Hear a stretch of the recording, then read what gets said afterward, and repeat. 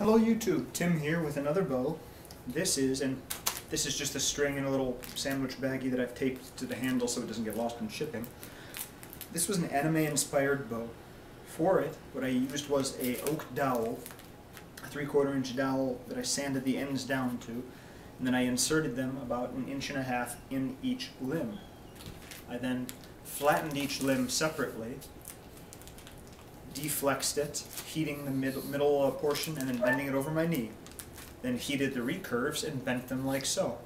So, after applying a wood grain finish, I went ahead and sprayed a fade, a black fade onto the tips, and took some EVA foam to cap either side of the hand grip. It draws 25 pounds. That's my dog whining to get in. Hold on, hold on. 25 pounds, not a spectacular shooter, since I don't have any arrows nearly in that weight class, but it's a really nice bow, and I think if I'm going to make any more riser bows, things that in the style of a green arrow bow and whatnot, this is going to be the technique to do it. So thank you for watching, YouTube.